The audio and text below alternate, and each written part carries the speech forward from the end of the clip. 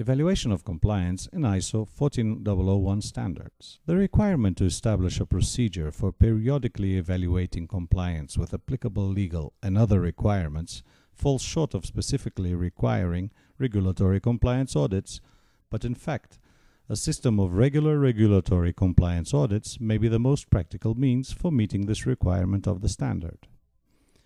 In the US, determination of whether to conduct a compliance audit will be governed in part by the particular jurisdiction's approach to allowing a legal privilege for the self-assessment audit. The difference between an evaluation and an audit can only be determined by looking outside of ISO 14001.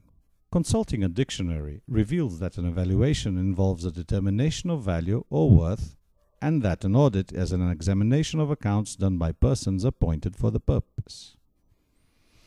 A better definition is the more specific ISO 19 a better definition is the more specific ISO 19011-2002 guidelines for quality and or environmental management systems auditing, which defines an audit as a systematic, independent and documented process for obtaining audit evidence and evaluating it objectively to determine the extent to which the audit criteria are fulfilled. Many organizations do not have a system for evaluating regulatory compliance other than their own records and the inspections of regulatory officials. This lack of a verification system can be a risky way to operate.